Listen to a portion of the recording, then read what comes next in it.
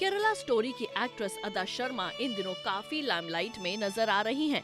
The Kerala story के लिए अदा ने काफ़ी मेहनत की थी अफ़गानिस्तान में माइनस सोलह डिग्री पर अदा ने शूटिंग की थी इस दौरान अदा ने 40 घंटों तक पानी नहीं पिया, जिस वजह से उनकी हालत काफ़ी खराब हो गई थी, जिसकी तस्वीरें अदा ने अपने इंस्टाग्राम अकाउंट पर शेयर की हैं। आप देख सकते हैं, अदा के चेहरे पर चोट लगी हुई है, साथ ही उनके होंठ भी फटे हुए हैं। अदा कहती हैं कि इस सीन को शूट करने के लिए उन्होंने 40 घंटों तक पानी नहीं पिया था, जिस वजह से उनकी बॉडी डिहाइड्रेट हो गई थी। यहाँ तक कि प्रैक्टिस के दौरान उनकी कोहनी और घुटने भी छिल गए थे। आखिरकार अदा की मेहनत रंग लाई और उन्हें खूब प्यार मिला। लेकिन करियर के शुरुआती दिनों में उन्होंने बहुत बार रिजेक्शन झेला है। एक इंटरव्यू में अदा ने बताया कि उन्हें रिजेक्ट करने के साथ साथ एक बहुत खास सलाह भी दी गई थी, जिससे एक्ट्रेस खुद भी हैरान थी।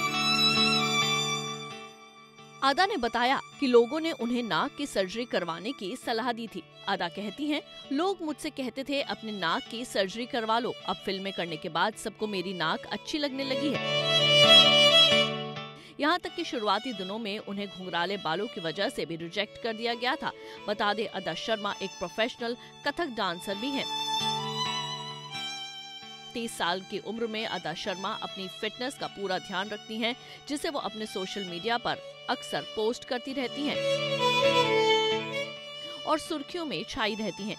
बता दें कि अदा शर्मा किसी भी फ़िल्म की शूटिंग के दौरान वे एक्सरसाइज करना नहीं भूलती और ना ही उसे स्किप करती हैं, वो अपनी हेल्थ का पूरा ध्यान रखती हैं। अदा का कहना है कि वह योगा, डांस और अन्य फ़िज़िकल एक्टिविटी करती रहती हैं। ये सब चीज़ें उन्हें शेप में तो रखती हैं, साथ ही में नेचुरल ग्लो भी देती हैं। आपको हमारा पैकेज कैसा लगा कमेंट बॉक्स में बताना ना भूलें।